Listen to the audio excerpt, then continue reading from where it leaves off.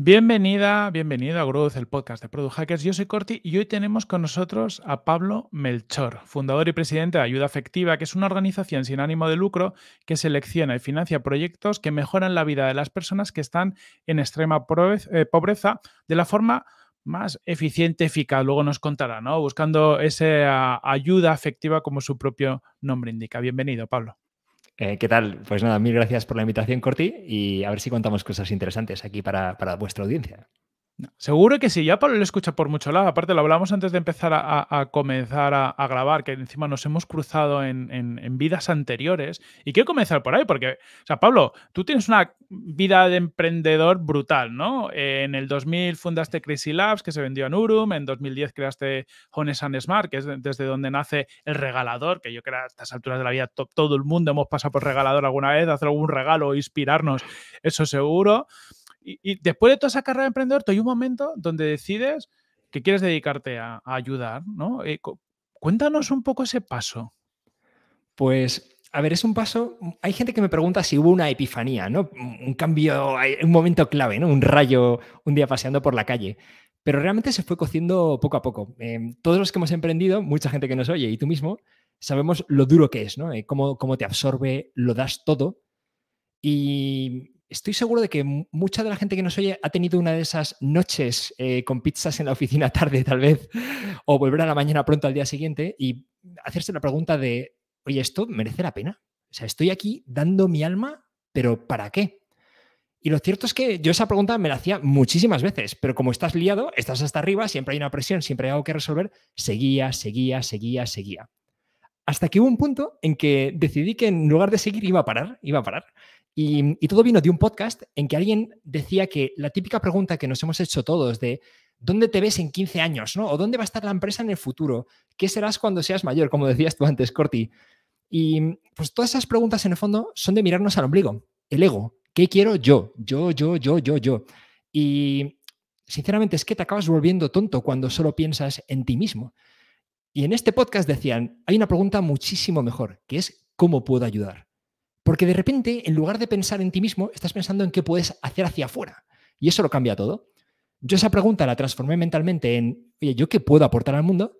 Y me la tomé en serio. Y, eso es lo que lo cambió todo. Pero ya te digo que se fue cociendo poco a poco a partir de esas dudas, ¿no? De, oye, ¿todo esto merece la pena o no merece la pena? Y, las dudas las he tenido siempre, ¿eh? cuando me ha ido bien, cuando me ha ido mal, cuando hemos vendido, cuando ha costado más. ¿De verdad todo este esfuerzo es lo mejor que puedo hacer aquí? Mm, eso, eso mola, te lo decía antes de empezar a, grabar, que el podcast de el podcast de Kaizen con Jaime, que, que comentabas todo esto, que lo escuchó mi, mujer Monse, y, esa pregunta decía, ¿no? El que, ¿En qué puedo ayudar? ¿En qué puedo, puedo aportar? Em, a, mi mujer le resonó mucho, ¿no? Y hemos tenido muchas conversaciones, y, luego pensando de verdad que es una pregunta muy potente, porque porque en, el fondo, o sea, yo creo que juntan dos cosas, ¿no? El poder aportar más allá de lo que tú quieras sacar y también yo creo que según va pasando la vida uno quiere dejar un pozo en el mundo y un, pozo lo puedes dejar es ayudando a los demás, no solo ganando mucho dinero, sino, oye, ¿cómo, puedo hacer que la, la, vida de otra gente sea mejor? Y me parece súper inspirador, ¿no? Sí, yo, vamos a ver, el dinero evidentemente es una herramienta fantástica, pero, pero es que solo es eso, es una herramienta. Y a veces nos perdemos, ¿no? Yo, yo he encontrado muchos emprendedores que después ya de su tercer exit, ¿qué hacen? Pues pensar que montar después. O sea, ya han entrado en una mecánica en la que lo único que hacen es repetir lo mismo una y otra vez, montar otro, montar otro, montar otro. Y si te va bien, a lo mejor tienes, tienes la suerte y la capacidad, empiezas a acumular, acumular, acumular. Ya, pero hay un momento que acumular para qué? Porque el nivel de felicidad claramente se estanca a partir de un punto en el que tienes tus necesidades cubiertas y, todos los lujos que consideraríamos normales en, un país como España, ¿no? Y a partir de ahí, ¿qué? ¿Para qué, para qué estás acumulando todo ese dinero? ¿no? Y lo cierto es que cuando reflexionas un poquito, ¿no? Cuando, cuando sacas la cabeza del ombligo, miras hacia afuera y te das cuenta de cómo está el mundo, resulta que tal vez tienes un superpoder para hacer algo increíble, ¿no? Nos hemos olvidado, ¿no? De pequeños queríamos ser superhéroes o bomberos, queríamos salvar gente. Y al final, sí, bueno, ya, sí, sí, cosas de niños, nos vamos acostumbrando, nos quedamos en el trabajo, pero no, no, no, es que resulta que el mundo es tan desigual que con una cantidad de dinero, por ejemplo, que para ti sea muy poco significativa, esos últimos mil, dos mil o tres mil euros según cuánto ganes, resulta que para ti no te van a cambiar la vida, pero en otros lugares evitan que mueran niños pequeños. Y hmm. para cualquiera que tenga un niño pequeño, o sea, pensar que no muera tu niño de menos de 5 años, o sea, ¿qué, ¿qué, no darías por ello? Darías tu vida, ¿no?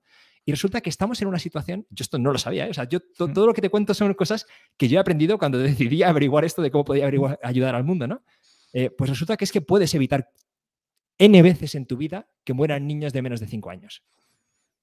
Total. Eh, y ahí es donde surge el, concepto ¿no? de, ayuda afectiva, porque la forma en la que tú tienes de, ayudar, em, o sea, yo creo que, es un poco distinta. En mi vida yo creo que, todos hemos apoyado alguna ONG, alguna causa y demás, pero no toda la ayuda yo creo que al final se transforma en algo que realmente salve una vida o tenga un impacto como, como tú dices. Entonces, si quieres dos cosas aquí, una, que nos cuentes qué es ayuda afectiva con un poquito más de detalle, en qué se distingue de otras cosas, y luego ya profundizaremos en quizás por qué el sistema de ayuda clásico, otros tipos de iniciativas no ha funcionado. ¿Por qué? O sea, porque, porque esto no es nuevo, ¿no? El intentar ayudar a los demás es, pues, se lleva, intentando mucho tiempo, pero yo tengo la sensación de que no acaba de cuajar, de que hay cosas que no funcionan en el sistema. Sí, sí, sí. Mm, lo primero es, ayuda efectiva es diferente. Yo me negaba a crear la típica ONG que te persigue por la calle con un chaleco para pedirte, al final, presionarte hasta que acabas dando un número de cuenta, ¿no? o que te llama una y otra vez para que subas tu cuota. me niego, me niego. O sea, yo soy emprendedor, estoy acostumbrado a crear algo donde antes no había nada y a resolver problemas. Vamos a ver si podemos ayudar bien. ¿Existe una forma de hacer bien el bien? ¿Existe una forma de hacer el bien con datos y con métricas? O sea, nos pasamos la vida optimizando todo, pero a la hora de ayudar nos quedamos en, el buenismo muchas veces. ¿Podríamos profesionalizar esto? Bueno, pues ese tipo de cosas son las que yo me puse a investigar y encontré que Hoy en día es posible hacer bien el bien.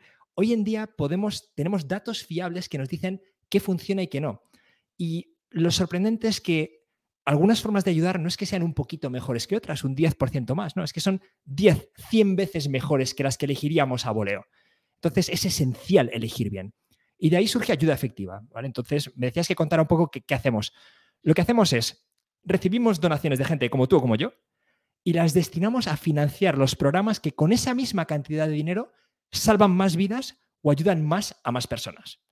Esto, yo sé que la gente que nos esté oyendo no habrá pensado en esto jamás, ¿vale? pero si nos paramos a pensar en ello, muchas veces nos preocupan enfermedades o problemas simplemente porque nos han tocado cerca, pero, pero el sufrimiento de cualquier enfermedad o el sufrimiento de perder un hijo es el mismo sea cual sea el motivo. Y cuando te das cuenta de esto, la conclusión lógica casi irremediable es, oye, ¿dónde alivio más sufrimiento? O sea, en lugar de elegir la enfermedad de aboleo o el problema al boleo, o la tragedia de la que se trate, ¿dónde con una misma cantidad de recursos salvo más vidas? Y como te decía, las diferencias son tremendas, pero a día de hoy tenemos datos de evaluadores independientes que nos permiten elegir esos programas que maximizan el impacto de nuestras donaciones. ¿Vale? Entonces, apoyándonos en esa mejor investigación, recibimos donaciones de gente como nosotros y financiamos los, los, programas que maximizan su impacto, salvando más vidas o ayudando a más personas de forma más importante. Mm. Esto, esto mola, ¿no? El, lo que dices tú, el, entender dónde aporto más. Ah, yo eh, no, voy a decir la palabra víctima, ¿no? Pero decir, yo, yo alguna vez en mi vida me ha pasado de, estar donando una ONG porque me pillaron en la calle, como tú bien has dicho. Eh, y luego con el tiempo analizando el, para qué destinaban ese dinero, pues, oye, es un problema, pero no, justo lo que has dicho, pues no sé si es el problema más importante al que podemos destinar eh, todo esto. Eh, lo quiero conectar con lo que, con lo que te preguntaba antes, de decir, ¿por qué, habiendo tanto dinero, porque hay bastante dinero en donaciones, ayudas y tal, ¿Por qué todavía no se resuelven eh, los problemas que se busca resolver? ¿Hace falta muchísimo más? Eh, ¿Es un dinero que no se está invirtiendo de forma adecuada? ¿O incluso las estructuras de las ONG clásicas eh, permiten que esa ayuda realmente sea efectiva y, llegue a quien tiene que llegar? ¿O, mucho dinero se pierde por el camino? Sí, a ver, hay, muchísimos problemas. En el fondo hay una colección de problemas. Voy a intentar trocearlo un poco para, ver si llegamos a los, a los grandes, ¿no? Mm, por un lado está la ayuda oficial al desarrollo, ¿vale? Eso es un mundo, la ayuda que hacen los gobiernos. El problema es que los incentivos, o sea, ¿qué incentivo tiene el gobierno español para ayudar bien y de forma efectiva en Ruanda, digamos? Cero. O sea, no hay ni un solo voto en juego. Entonces, al final, esa ayuda se mueve por motivos políticos varios, muy difíciles de, muy, muy difíciles de analizar, y acaba ocurriendo de todo. Yo antes de montar ayuda efectiva, hablé con gente que había trabajado en la Agencia Española de Cooperación Internacional al Desarrollo, en ACNUR, en refugiados. Y todo el mundo lo que me decía es, joder, menos mal que hay alguien que va a hacer lo que tú vas a hacer, porque no, no sabes la cantidad de cosas que veo. mm, se inauguran programas de ayuda que se sabe que no funcionan, pero es que ya el presupuesto se había aprobado. Y ya, claro, ya no se podía parar. Em, a lo mejor la comunidad local te dice que tiene otra necesidad, pero es que los fondos europeos ahora son para mujer. Y resulta que aquí lo que hacía falta era infancia, pero se ha decidido a no sé qué nivel que las cosas van para acá o para allá. Entonces, imaginemos la clásica ineficacia de cualquier burocracia y apliquémoslo a algo tan serio como ayudar a los demás. Entonces, hay una inefectividad tremenda en la ayuda oficial, ¿vale? Mm, incentivos mal alineados, problemas de toma de decisiones que no, están centradas en el impacto, sino en otras consideraciones varias, ciclos políticos, de todo. Ahora vayamos al mundo de las ONGs. La mayoría de las ONGs intentan hacer un buen trabajo. Entonces, eso creo que eso es lo primero que la gente debería saber, ¿vale? Es verdad que oímos casos de corrupción que son lamentables, una vergüenza. Pero la mayoría de la gente está intentando hacer un buen, trabajo. ¿Cuál es el problema? Primero, ¿qué recursos destinamos a las ONGs? En España tenemos una idealización, por ejemplo, del voluntariado. La idea es que, oye, lo importante es que el que ayuda sea puro y que sus incentivos sean de martirio, de voy a donar mi vida por ayudar a los demás.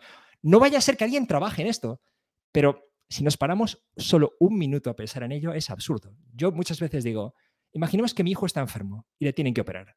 ¿Quién quiero que lo opere? El médico profesional que hace esto todos los días y está bien pagado y se va formando y va mejorando, o no, un voluntario que si puede se pasa por aquí el domingo y a ver si hace un apaño. Eh, vamos a ver, yo quiero la mejor ayuda. ¿Por qué damos la peor versión de la ayuda a la gente que más lo necesita?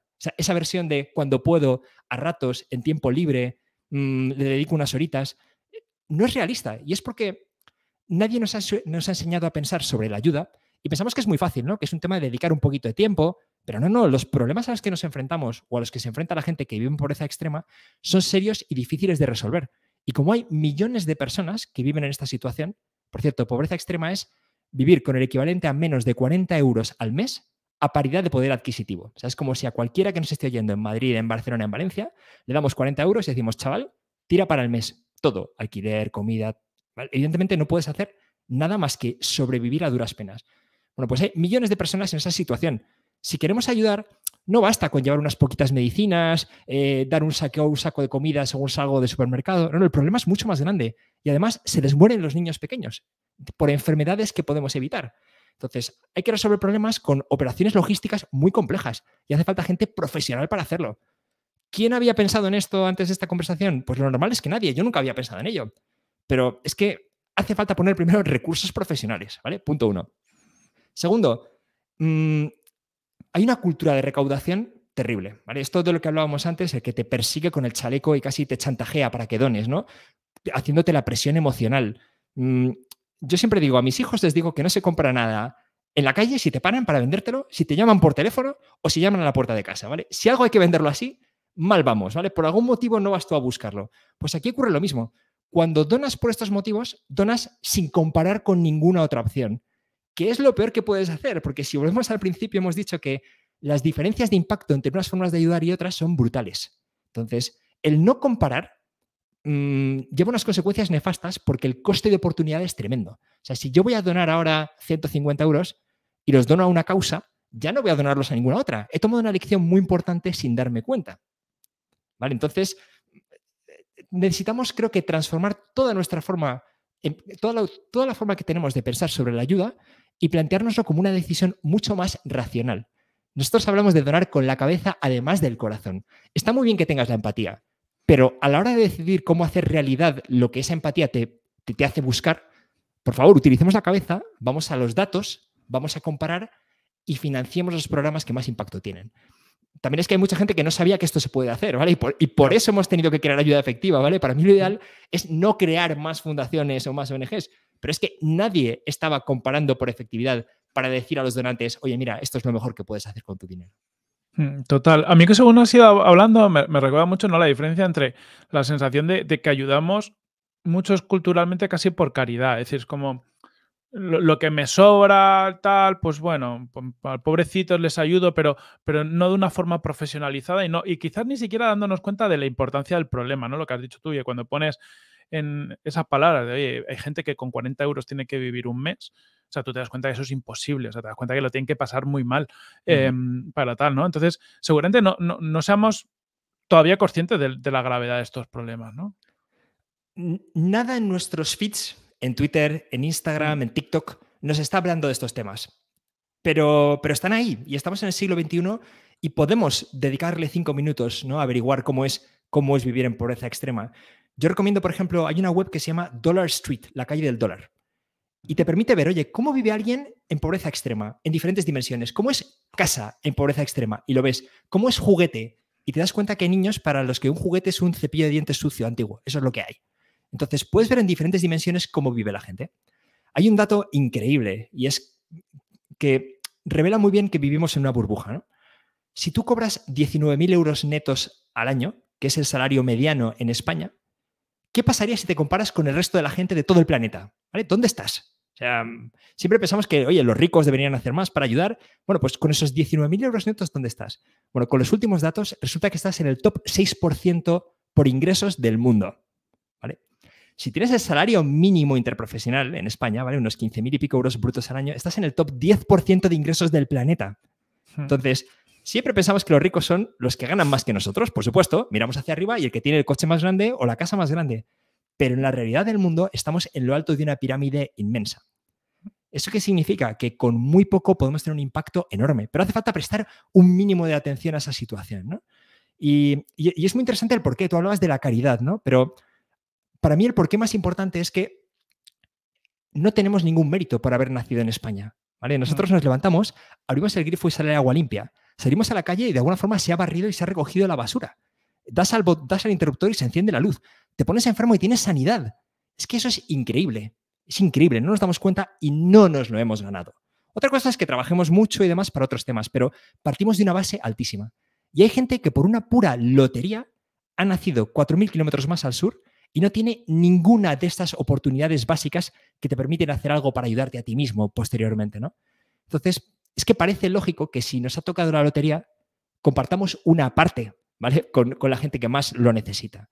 Em, yo lo veo algo que es que no debería ser caridad, como tú dices, cuando te sientes mal, cuando te han contado la historia terrible, cuando no paran de ponerte unas imágenes en la tele. No, es que para mí la forma de pensar en esto es, yo tengo una serie de ingresos, cubro una serie de gastos, si me va bien, otra parte la puedo ahorrar o me voy quitando las deudas, voy creando, voy dividiendo mi portfolio. Bueno, pues yo creo que es que una parte de nuestro portfolio debería estar destinada a ayudar a los demás de la forma más efectiva, permanentemente. Y cada uno que elija su porcentaje, ¿no? Uno dirá yo el 1% de mis ingresos, otro será muy generoso, dirá el 10% y otros más, ¿no? Pero debería ser parte de lo que hacemos reconociendo esa suerte increíble que hemos tenido simplemente de nacer aquí. Total. Me, encanta esa visión porque tangibiliza muy bien esas diferencias, ¿no? Dices, aquí cada vez nos quejamos, ¿no? De, pues eso, soy mileurista. Y dice, bueno, ya ves que eres una de las personas más ricas del mundo. Entonces. Claro, claro. Sí, evidentemente hay gente, hay una frase muy típica que es, oye, yo no sé por qué la gente se va a África, que en España hay mucha necesidad, ¿vale? Es un clásico. por supuesto que hay necesidad en España y hay gente que lo pasa muy mal en España.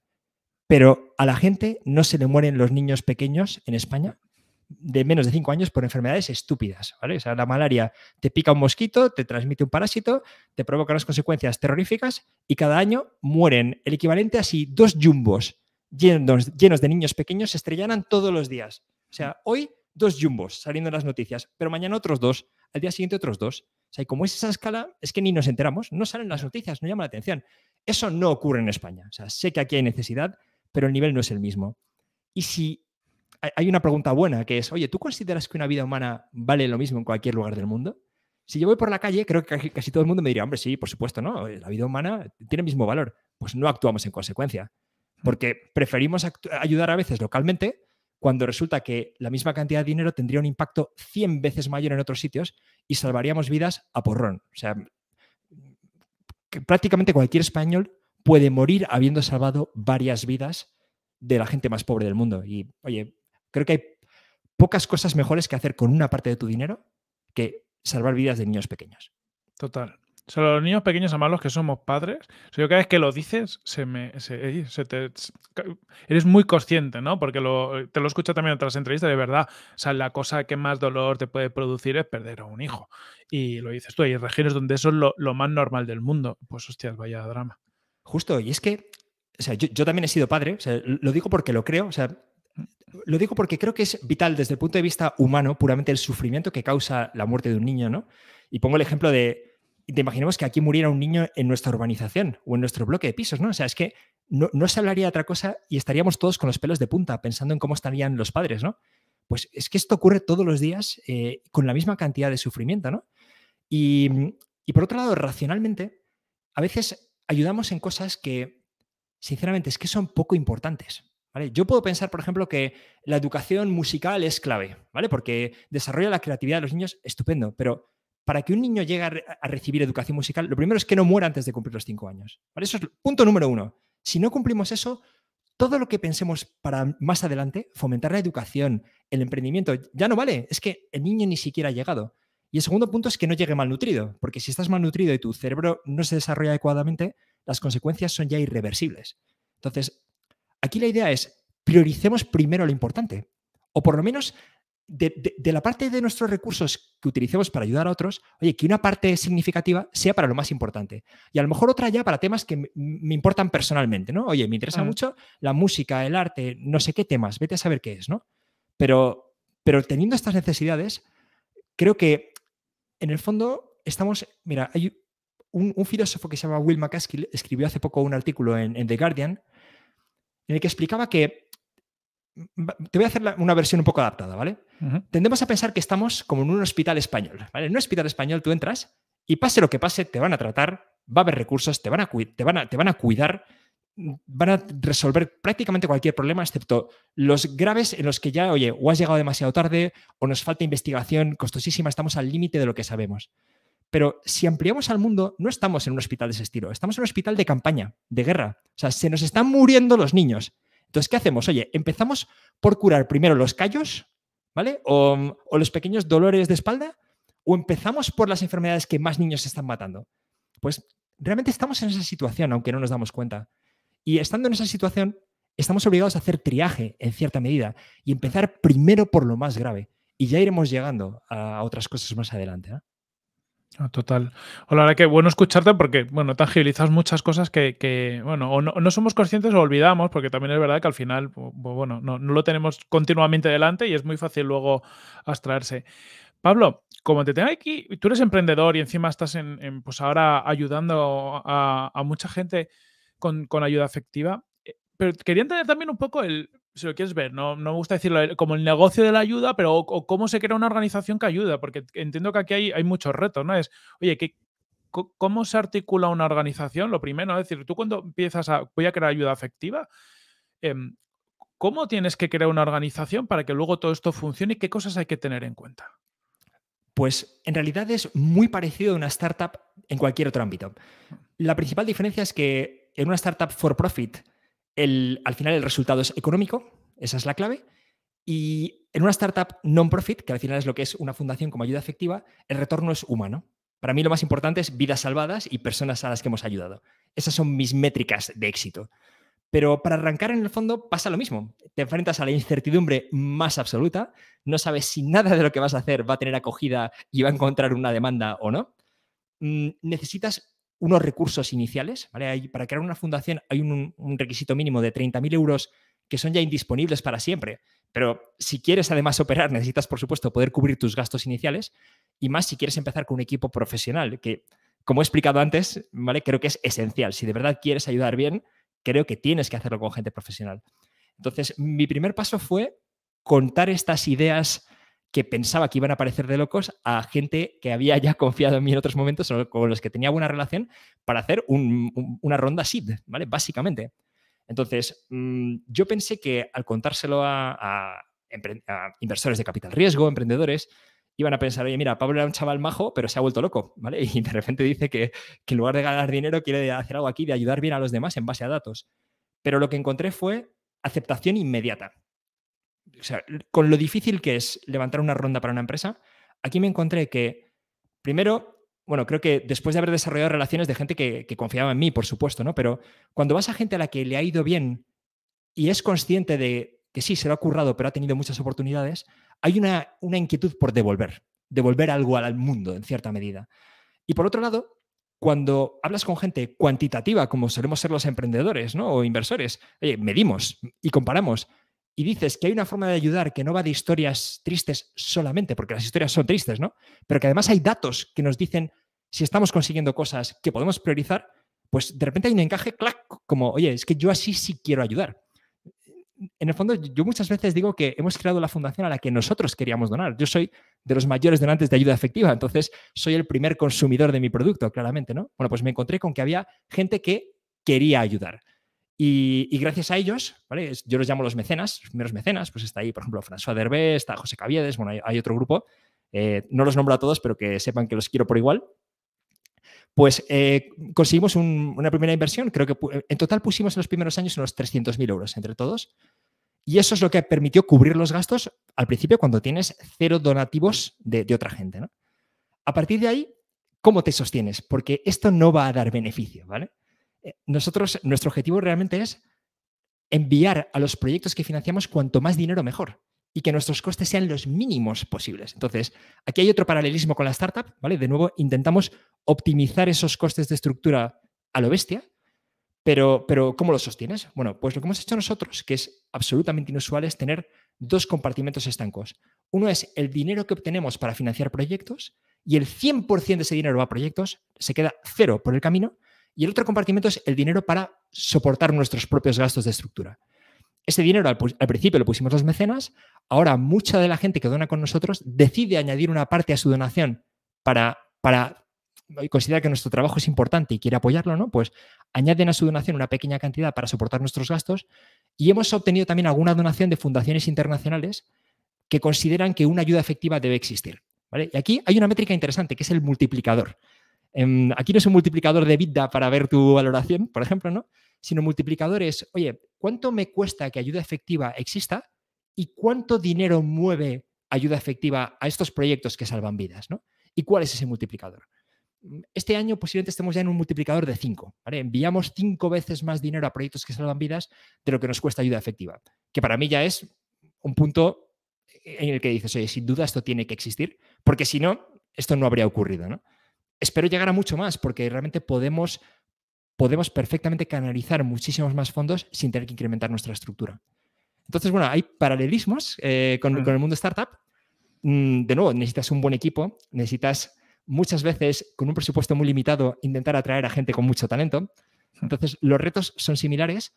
Tienes que comunicar, tienes que captar donantes, ¿vale? Nosotros, además, vamos a la forma más difícil, que, es no buscamos la persuasión publicitaria, ¿no? sino que buscamos la convicción racional, con lo que, con lo que aquí hay un reto importante y eso te obliga a, también a pensar en tus canales. ¿no? Eh, en, el fondo, pues igual que, que una startup pensarías en tu inbound, en diferentes modelos de, contenido, ¿no? Eh, pues nosotros no hacemos branded content, pero, por ejemplo, participar en podcasts como este, que nos dan la ocasión de, presentar las ideas en profundidad, ¿no? Y, sobre todo si hay algunas preguntas como las tuyas, pues es esencial para nosotros. En el fondo hay que, nosotros tenemos que exponer a la gente estas ideas que hasta ahora realmente no han tenido ni el tiempo para pensar en ellas, ni, ni el conocimiento de que existían. Mm, total. O yo que también he, donado a través de vosotros, hay, esa parte chula de, saber, oye, pues esto va a la fundación, esto va a la ayuda, que, es, que, es, algo que yo también creo que se echa de menos en modelos más tradicionales, ¿no? Esa transparencia de poder entender, oye, este, cuánto va a cada lado. en el fondo a mí me da igual, ¿no? En el sentido de entiendes que tiene que haber un coste de estructura y una serie de cosas para que funcionen. Estoy muy de acuerdo en que tienes algo profesional, porque la, gente que sabe lo que se hace lo va a gestionar todo mejor, pero mola tener esa transparencia. Eh, un par de días sobre todo lo que has contado. Eh, cuando recibes una inversión eh, para esa fase inicial, al ser una non-profit, hay, se, quedan también un porcentaje del equity. Es decir, ¿qué, es lo que busca un inversor? porque entiendo que hay una que sí que quiere una vinculación, aunque solo sea para sentirse parte, ¿no? ¿Cómo, funciona? Sí, es curioso porque realmente no hay, no, hay equity ni titularidad sobre el equity, sino que hay en primer lugar fundadores. Los fundadores son los que ponen esos primeros 30.000 euros obligatorios solamente para que algo exista. Hmm. Y, únicamente van a tener el honor de haber sido los fundadores, ¿vale? No hay ningún tipo de retorno y ni siquiera tienen un, control posterior sobre la fundación, ¿vale? En la fundación hay un órgano que se llama el, patronato, que es el equivalente a un consejo de administración en, una empresa, y el patronato tiene la misión de hacer que la voluntad del fundador se cumpla para siempre, ¿no? Y el patronato se va renovando, va eligiendo nuevos miembros, hay, unos procesos ahí de governance eh, bastante estrictos, pero pero no hay nadie que, reciba un retorno especial por el dinero. Entonces, yo creo que el incentivo es... es un poco lo que comentábamos antes. Hay un momento en que lo que quieres es hacer algo que mejore el mundo de alguna forma. ¿no? Eh, el Dent in the Universe de, Steve Jobs, digamos, ¿no? Pues aplicado a, ayudar a los demás de alguna forma, ¿no? A, claramente mejorar el mundo no por dejar una tecnología increíble, sino por haber reducido sufrimiento, ¿no? Que yo creo que es algo en lo que pensamos muy poco porque casi nos pilla lejano, pero que sigue siendo la realidad de la vida de mucha gente. Entonces, yo lo que he encontrado es gente con muchas ganas de tener ese impacto. Además, he encontrado gente que no buscaba reconocimiento, aunque a mí esto me da igual. ¿eh? Yo, si alguien busca reconocimiento, fantástico. Si es que lo importante es ayudar. aquí en España tendemos a mirar mucho la pureza de las intenciones de quien ayuda. A mí me da igual. Yo lo que quiero es que ayude. O sea, si Amancio dona 400 máquinas, ole. Y cuanto más reconocimiento tenga, mejor, porque entonces otros quieran hacerlo. Y cuanto más le pongamos a parir, peor, porque menos gente querrá hacerlo. ¿no? Pero bueno, nos cuesta, nos puede costar imaginarlo, pero es que hay gente que quiere mejorar el mundo. Hay gente que quiere dedicar una parte de sus recursos a saber personalmente y tal vez contárselo a sus hijos, ¿no? Que han hecho cosas por los demás. Y ese es el único incentivo.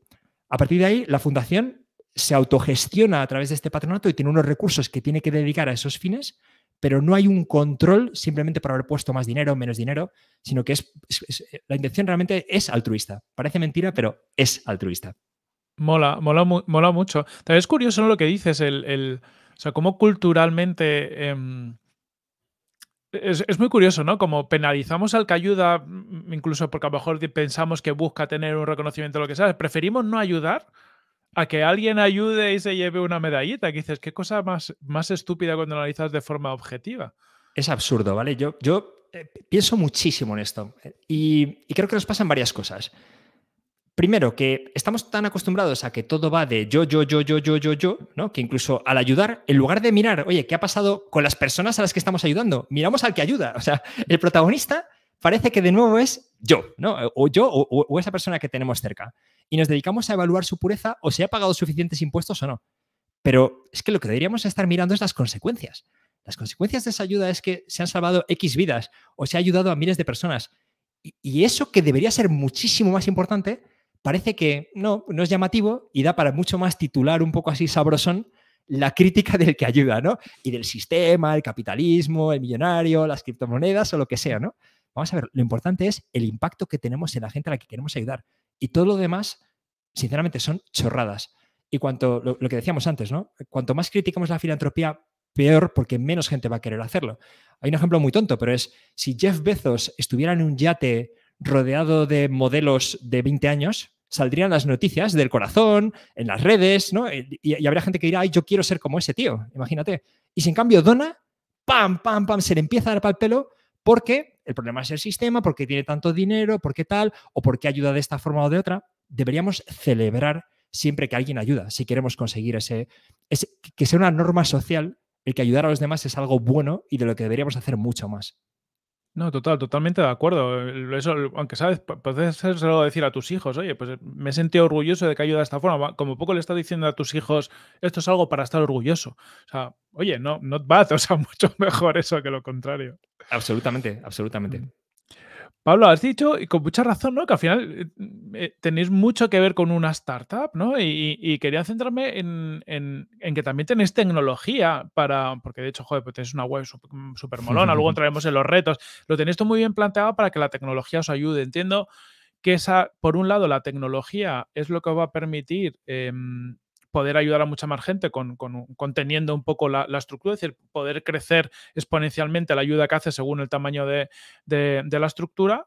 Eh, y por otro lado también entiendo, y, aquí seguro que nos puedes dar pistas, que tiene que existir algún tipo, no sé si efectos de red o, o magnificación de la ayuda en función del volumen. Yo me puedo imaginar que cuando eres capaz de tener más volumen de donaciones, de alguna forma vas a ser capaz de ayudar mejor. No sé si estoy en lo cierto o no.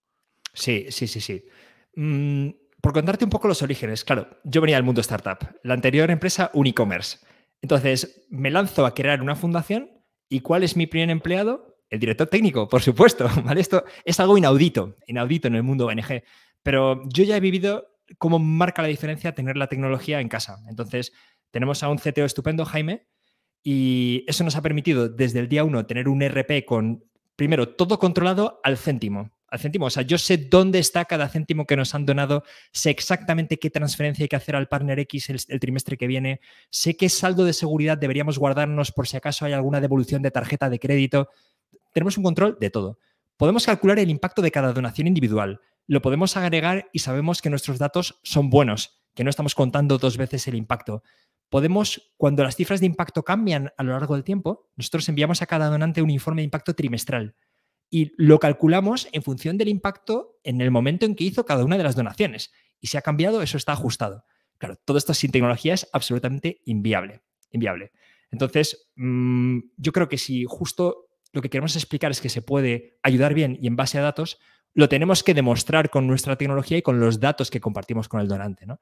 Entonces, eso tú al donar verías lo has comentado antes, ¿no? Que es que ya te decimos el impacto que va a tener tu donación antes de hacerla. Esto no es dono y a ver si me cuentan qué ha pasado. No, no, ya sabes lo que va a conseguir, ¿no? Entonces, eso sin tecnología sería, sería imposible.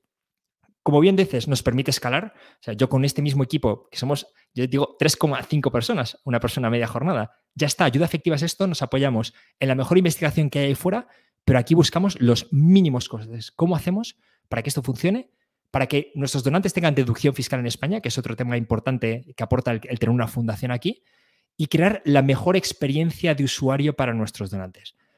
Y en cuanto a escalar, bueno, por un lado, por el lado de los donantes, claramente hay, efectos del volumen, ¿no? Y nosotros damos al donante la opción de compartir su impacto, por ejemplo, en redes sociales, invitar a otros. Eh, tenemos una mecánica que llamamos equipos de donación, de la que hablaremos después, imagino, que permite, es muy bonito, ¿no? Donas juntos, que la gente done junta y vea el impacto que están consiguiendo en tiempo real, todos juntos. Entonces, claramente ayuda, ayuda a crecer. Y por otro lado, el volumen de tu ayuda también es importante porque en lugar de, o sea, no mueves la aguja con cantidades mínimas, ¿no? Pero cuando tienes cantidades significativas, pues ya permites escalar. Por ejemplo, geográficamente se entiende muy bien, ¿no? Yo puedo poder tratar a cuatro niños más en una aldea, pero es que a lo mejor puedo escalar operaciones a tres aldeas más con suficientes recursos, ¿no? Y puedo entrar en economías de escala. Aquí eh, la gente no lo imagina de nuevo, ¿no? Pero en el tipo de programas que nosotros tenemos, pues por ejemplo, suplementación de vitamina A, mayor causa de ceguera en la infancia. Cada año entre 250.000 y medio millón de niños pierden la vista por una chorrada que es que no tiene suficiente vitamina A en la dieta y que se arregla con una gota en la boca dos veces al año que cuesta un euro por niño. ¿Vale? O sea, esto no es cáncer complicadísimo, no, esto. Pero para, para que eso cueste un euro por niño, hace falta escala, hace falta escala brutal. Para intentar concentrar la distribución en un día a lo bestia, localizando a los niños en cuantos menos puntos de distribución mejor, o sea, hace falta mecánicas, mecánicas inteligentes, garantizar que el producto está ahí, poder comprar todos los suministros necesarios al menor coste unitario posible. Entonces, mm. la escala tiene los mismos beneficios que encontramos en los, en, los negocios, ¿no? en, las, en, las, en las startups for profit. Entonces, cuanto más escalas, mejores resultados consigues. O sea, hay una métrica aquí clave, ¿no? Que es el coste unitario de la ayuda. Reduces el coste unitario de la ayuda. Eso significa que puedes ayudar a muchas más personas, con lo que es esencial, esencial. Total, hablando de tecnología, también una cosa que tangibilizáis muy bien, ¿no? en relación a esto que estás contando, es decir, el dinero que tú, tú pones, ¿no? En, qué se traduce, ¿no? Oye, pues vas a ayudar a, a, 12 niños, ¿no? Esto en los equipos, eh, eso se ve muy claro, ¿no? Vas tangibilizando la ayuda, que yo creo que está guay porque porque a veces donas 100, 200, 300 euros. E, eso es una cantidad que no, entiendes muy bien a lo que va, pero dices, he ayudado a 30 niños. Otra, pues mola, o sea, mola saberlo, ¿no? Te, más allá de, por un lado, ese limpiamiento conciencia que hacemos todos, pero bueno, que no está mal, decir, oye, ya que ayudamos, te quedas más tranquilo, pero tangibilizar, yo creo que también ayuda a entender que, lo que decías antes, que con poquito ayudas mucho, ¿no? Es decir, con, con algo que a ti no te va a cambiar el día a día, vas a hacer que un niño no, no esté ciego o vas a hacer que un niño pueda vivir, y esto es la bomba. Lo es, lo es. O sea, como, como elegimos solo los programas más efectivos, el coste unitario este del que hablábamos es bajísimo. O sea, por ejemplo, mosquitera tratada con insecticida de larga duración, que es una de las mejores formas de prevenir la malaria. Si duermes bajo una mosquitera, el mosquito ya no te pica, muere al tocar la, mosquitera y, previenes la malaria de una forma baratísima. El coste de una mosquitera comprada, distribuida, entregada, pasando de nuevo para supervisar al cabo del tiempo si sigue ahí o no y si se está utilizando correctamente. O sea, bien hecho, el coste es de menos de 5 euros por mosquitera. Entonces, es que puedes, o sea, individualmente podemos ayudar a cientos o miles de personas. Claro. Entonces, primero, ayudar es muy barato. Segundo, cuando vamos al mayor impacto que puedes tener, que es el de vidas salvadas, ¿qué ocurre? Que cuando haces estas pequeñas cosas a escala grande, acabas salvando vidas. Porque de todos los niños que cogen malaria, un determinado porcentaje muere, como comentábamos antes, ¿no? Entonces, nuestras cifras nos dicen hoy que por cada 3, entre 3.500 y 5.000 euros que dones a lo largo de tu vida, vas a estar salvando una vida. Entonces, es que cada uno de nosotros puede morir habiendo salvado varias vidas, lo decía antes, pero es, cierto. O sea, puedes morir habiendo ayudado a miles de personas, porque también las consecuencias, si tienes malaria cuatro veces de pequeño, ¿no? O no mueres pero te has quedado ciego, las consecuencias son terribles, ¿no? Bueno, pues proteges a cientos y miles de personas de estas enfermedades muy duras y además es que estás salvando vidas. Es, es mm, no sé, es que a mí, como me cuesta encontrar algo, algo mejor que hacer con, con, mi tiempo y mi dinero, pues bueno, no sé si resulta convincente para los que nos oyen, pero yo no podría verlo más claro. No, no, súper convincente y tangibilizas mucho también, ¿no? Lo importante de todo esto. Antes hablabas, ¿no? De, equipos de donaciones, tenéis ahora un, reto. Me apetece que, nos expliques un poco más, porque también yo creo que, y esto conecta mucho con cosas que contamos aquí, ¿no? De, de, growth, ¿no? De cómo, cómo crecer, eh, cómo consigo más donaciones sin estar en, en la calle. Em, y lo, lo hilo con, con, bueno, un poco el chascarrillo, broma que últimamente estaba haciendo Samuel Hill con, con, Jaime Rodríguez, picándose en redes, en la news y tal, con los equipos de creo que es una dinámica muy bonita, ¿no? De implicar a comunidades, empresas, eh, a, a, que participen y ayuden y también a generar un poco, pues en el mundo social de redes sociales que vivimos, un poco el compartir, el picar y hacer algunos enfoques de dar visibilidad a estas cosas más divertido. Es decir, que oye, pues que pedir ayuda no tiene por qué ser tampoco un drama, puede ser algo gamificado, ¿no? Yo creo que en cierta manera la habéis conseguido generar un juego con esto. Sí, mm, es una combinación, ¿vale? Porque por un lado, lo que hacemos es muy importante y es un tema serio. Hmm. Pero un tema serio no tiene por qué ser aburrido y no tenemos, o sea, ¿por, qué vamos a utilizar todas las técnicas de gamificación para chorradas, ¿no? Para conseguir que la gente consuma más de algo que no necesita, ¿vale? Poniéndome un poquito así, un poquito tremendo. Eh, y no vamos a utilizarlo para algo positivo. Y lo que hemos encontrado es que hay mucha gente que es fan de ayuda efectiva y nos pregunta, oye, ¿cómo puedo hacer más? ¿Qué más puedo hacer? Y hay gente que no lo piensa, pero hay veces que tu mayor impacto es simplemente contárselo a otros. Porque si solo estás donando tú, va a estar limitado a lo que tú puedes aportar. Pero si consigues que 10 personas más se apunten contigo, ¿vale? y no hablo de presión, hablo de convicción, de nuevo, tu impacto de repente ha sido 10 veces el que habrías conseguido individualmente. Entonces, movilizar a otros es, es, es es una de las cosas más valiosas que se pueden hacer. Y en el fondo, esto es por lo que yo he creado ayuda efectiva, ¿vale? Yo me podría haber quedado en casa, haber descubierto esto y decirme, oye, voy a donar. Pero claro, si hago solo eso, mi impacto está limitadísimo. Si quiero una organización que permite que otras personas donen con nosotros, mm, el límite, mm, eh, no sé, pasa a estar millones de veces más arriba, ¿no? Entonces, hemos creado lo que llamamos equipos de donación. Entonces, cualquier persona puede crear un equipo y creamos una página específica del equipo, en la que además tienes, tampoco puedes poner tu logo, puedes poner mensajes personalizados y puedes invitar a gente a donar contigo. Y lo bonito es que la gente que participa puede subir su foto si quieren, ¿vale? Es, opcional, pero yo lo recomiendo porque es la forma de animar a otros a donar y mm, simplemente demostrar que hay personas reales detrás de cada cosa que hacemos, creo que es algo muy importante. Y además medimos el impacto que se está consiguiendo conjuntamente en tiempo real. Y cuando la gente ve el impacto conjunto, alucina. O es que ha habido equipos en bodas, ¿no? En los invitados de una boda. De repente, no, mira, es que los de esta boda de hoy, pues resulta que hemos, hemos vacunado un colegio entero. ¿Vale? Es, es, tremendo lo que se consigue en cuanto sumas a gente, ¿no? Entonces, pues sí, como comentabas, tenemos eh, en algunos podcasts, eh, Samuel Hill, Jaime, han creado equipos y ahora tenemos lo que llamamos el reto ayuda efectiva, en el que los equipos están compitiendo y colaborando para lograr un objetivo conjunto que es suplementar con vitamina A a 100.000 niños de aquí a fin de año. Y vamos, bueno, vamos a llegar al 50% del objetivo dentro de poco. Y hay algunos piques muy graciosos entre algunos de los equipos, pero lo importante es que gracias a todo esto al final el impacto es, brutal, ¿no? Eh, la vitamina, además, bueno, ya he hablado antes de ella, ¿no? Pero a día de hoy es la forma, que esto es, nadie está acostumbrado a oír hablar de estas cosas así, pero es que es el mundo en el que vivimos. La forma más barata de salvar vidas, ¿vale? Cada 3.500 euros donados salvar una vida. Que es a veces un drama, ¿no? Que dices, o sea, ¿y cómo es posible que se mueran niños por cosas que cuestan 3.500 euros, ¿no? Pero a la vez es una oportunidad increíble, ¿no? Porque dices, oye, es que, es que si nos juntamos ahora 10, 15, 20, 50 o 200, podemos tener un impacto tremendo. Entonces, bueno, e, e, esta es la mecánica de, los equipos y, la verdad es que estamos contentos. Queremos, creemos que aporta y es una forma, es una forma de que más gente tenga un primer contacto con nosotros, puede escalar mucho y además permite que, esa gente que ya es fan de nosotros tenga herramientas para hablar, hablar de lo que hacemos de forma, para demostrar lo que hacemos, te diría, ¿no? En lugar de solo hablar, con, hablar acerca de ello. Total. ¿E-, ¿Es vuestro ahora vuestro principal canal o cuál es el canal en el que conseguís más, eh, más ayuda? A ver, el principal es los podcasts en general. Los podcasts llevan a la gente a donar individualmente o a donar en equipo según el caso, ¿no? Hay, hay diferentes circunstancias. Pero claramente es este formato largo en el que tú y yo podemos hablar de las ideas en profundidad, ¿no? Y podemos ver, podemos hablar de, los mitos, ¿no? De los, mitos de cómo pensamos mal. En el fondo, creo que todos los que oímos podcast, y a ti te he oído decirlo también, Corti, es que aprendes a lo bestia. O sea, de repente sales de un episodio y dices, ostras, es que esto ha cambiado totalmente mi forma de pensar en esto.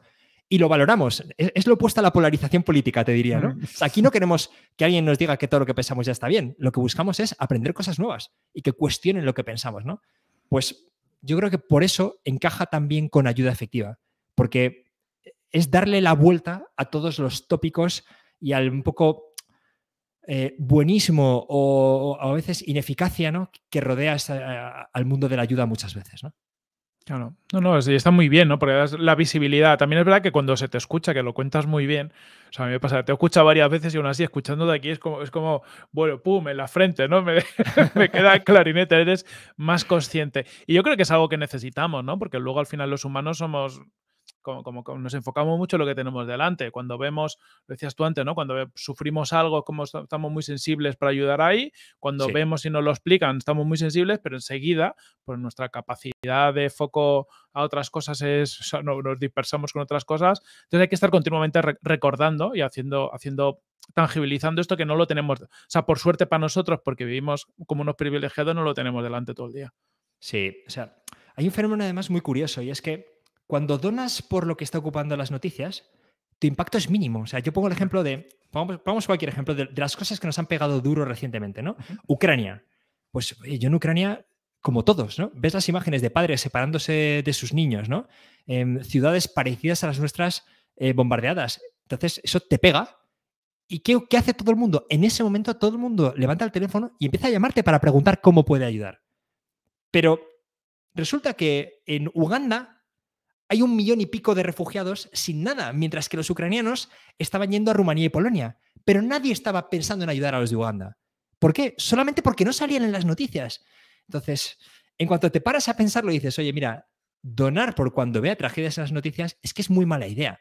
Porque además hay un fenómeno de rendimientos decrecientes. O sea, cuando un problema ya tiene millones, como estos problemas que han ocupado las noticias, tus 100 o 1000 euros adicionales es que no se van a notar no se van a notar o se van a desperdiciar a veces porque ya todo lo importante ya estaba hecho. Sin embargo, cuando vas a otros problemas desatendidos, yo los llamo las tragedias silenciosas, tipo estas de la vitamina A, que seguramente nadie había oído hablar de ello, ahí resulta que tienes un impacto tremendo y que el dinero tiene un valor, cada, cada, cada mil euros adicionales tiene un valor inmenso.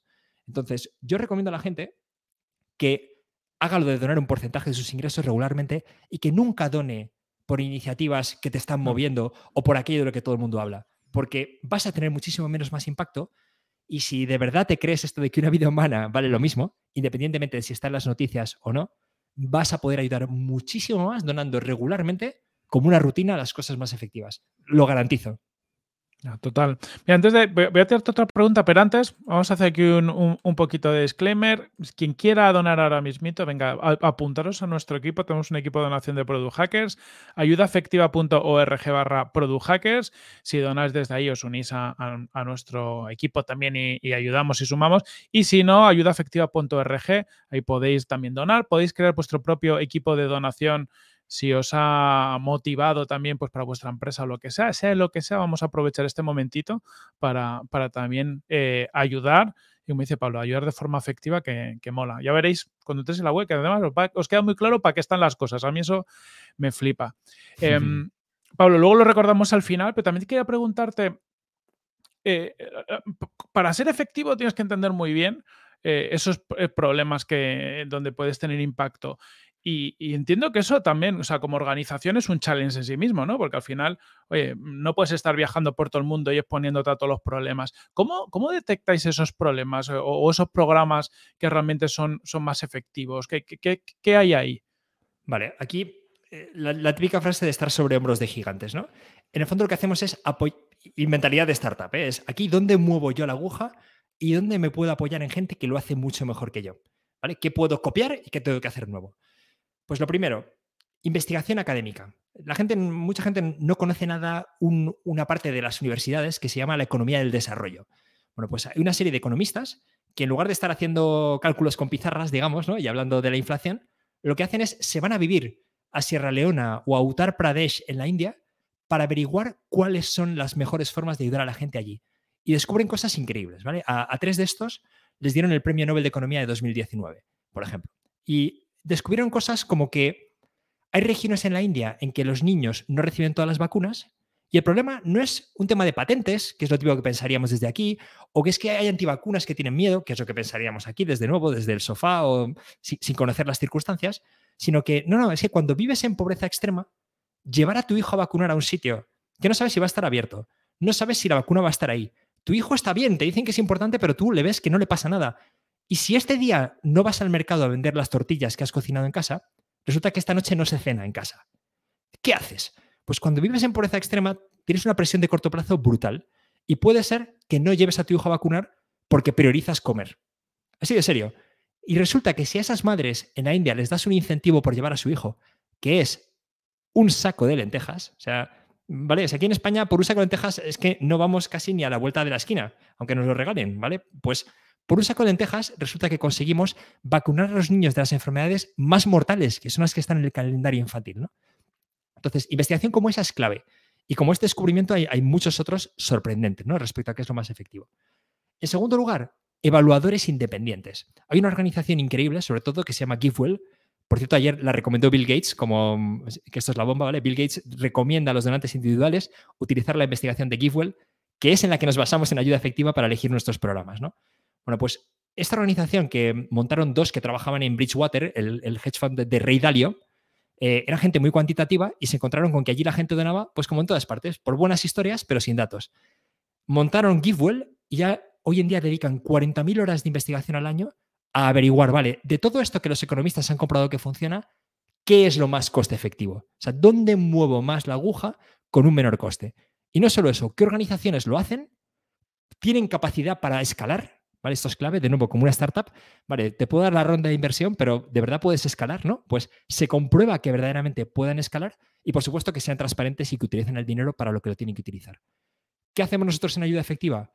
Nos apoyamos en la investigación de GiveWell y otros cuantos evaluadores independientes, los mejores, para elegir esos programas que, como decía, no es que sean un 10% mejores, no es que son 100 veces mejores que la media. Y financiamos un número muy reducido de programas, pero que sabemos, o sea, que tienen toda la validación de estar auditados permanentemente en todo, financieramente y en impacto, para saber que el dinero lo destinamos a lo que merece la pena.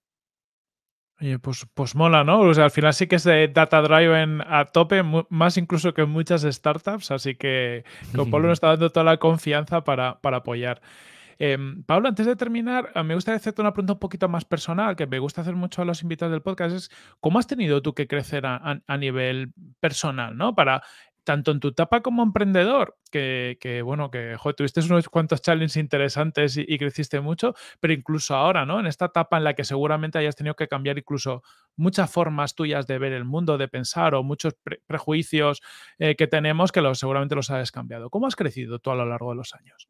Sí, brutalmente. O sea, yo cuando miro al Pablo del pasado, hablo de él así, hablo como el Pablo del pasado y lo veo casi como otra persona, ¿no? Porque afronto la vida de una forma totalmente distinta, ¿no? Yo creo que primero, ser emprendedor te curte, ¿no? Te hace eh, vivir en incertidumbre es, tu día a día, ¿no? Lo que para otra gente sería insoportable, para ti es casi tu modus operandi. Tener que tomar decisiones permanentemente con información imperfecta, ¿no? Pero te diría que lo que más he mejorado ya que me decías desde el punto de vista personal es que eso no me estrese. O sea, yo he tenido épocas de muchísimo sufrimiento, mucho trabajo, pero, pero con muchísima tensión. Y he llegado a un punto, eh, creo que también la edad ayuda irremediablemente, ¿no? El pelo gris, eh, en el que sé lo que esperar y lo tengo ya descontado y no me preocupa, ¿no? Mm, pues por ejemplo, sé que voy a tener días en que voy a estar más motivado y días en que menos. Y que no pasa nada. No pasa nada. Cuando esté menos motivado, no hace falta hacer nada para resolverlo. Simplemente hay que seguir haciendo lo que hago porque sé que al día siguiente vendrá otro día de alta motivación. No, pasa nada. Mm, he pensado mucho, eh, a ver, la productividad, no sé si tú has hablado alguna vez de Oliver Bergman en el, post, el de, tiene un libro que se llama 4.000 semanas mm. y lo llama productividad para humanos, ¿vale? Entonces, para la gente que nos escuche, que haya probado los Getting Things Done y este tipo de cosas y le hayan fallado todos, ¿no? Porque lo que suele pasar es que te motivas, estás a tope durante un mes y de repente el día 31 por algún motivo ya no te apetece tanto y va cayendo, ¿no? Y va decayendo cualquier sistema organizativo. Entonces, eh, en el fondo he asumido muchísimo mis limitaciones y he bajado el listón. Mi listón es, yo quiero hacer una cosa valiosa cada día. Y sé que si hago una cosa valiosa cada día, habrá un efecto de interés compuesto que llevará a buenos resultados. ¿Y se van a quedar cosas sin hacer? Siempre, pero no es un problema. El objetivo no es hacer todo, el objetivo es hacer algo valioso cada día y dejar que el interés compuesto haga su magia. ¿no? Entonces, ese tipo de cosas son las que más, las que más, las que más me han ayudado. ¿no?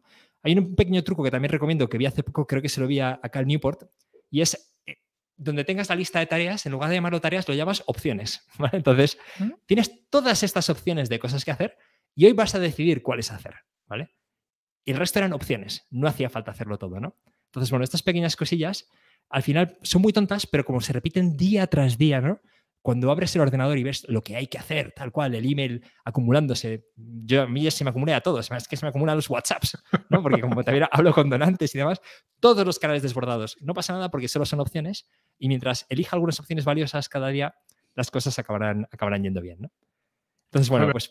Es un game changer esto, ¿eh? Eso me refiero, es una forma muy guay de cambiar la forma de pensar y pasar a estar agobiado a decir, bueno, pues ya lo iré gestionando. Es que creo que es, creo que es mucho más humano, ¿sabes? Yo creo que, creo que siempre que intentemos ser más parecidos a máquinas, que es a lo que nos llevan muchas ideas de productividad personal, en el fondo nos estamos alejando de todos nuestros instintos, ¿no? Eh, o sea, es un poco como lo que dicen del león en la sabana, ¿no? Que pasa de actividad 100 para cazar, pero luego se, pasa mediodía echándose siestas y no ocurre nada, ¿no? Pues como humanos creo que no tendemos en absoluto al método y la constancia. No, hmm. tenemos momentos de mucha energía, momentos de menos, y creo que cuanto antes lo asumamos y juguemos en esas reglas, eh, irá mejor, ¿no? Porque yo al final, a veces se lo he dicho a, mi, a mi patronato, las relaciones de confianza total, ¿no?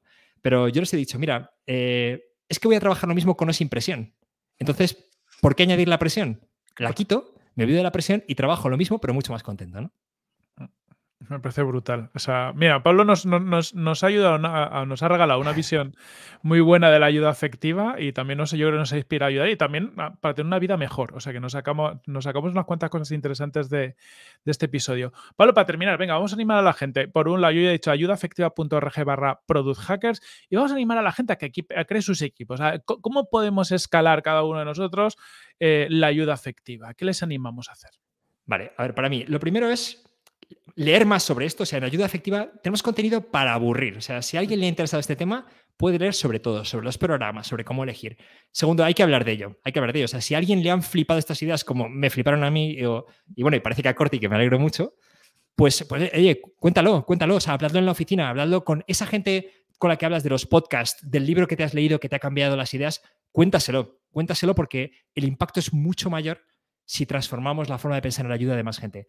Y para el que se quiera lanzar ya a, oye, venga, vamos a ayudar, vamos, vamos a ponernos en, marcha ya, pues en ayudaefectiva.org barra equipos guion donación están todas las instrucciones para crear equipo e ideas de con quién hacerlo. Porque lo puedes hacer en el trabajo, pero lo puedes hacer con los cuñados en, Navidad, ¿vale? Lo puedes hacer en la comunidad de vecinos. En, hay, mil grupos, ¿vale? Con los del equipo de fútbol o el torneo de pádel.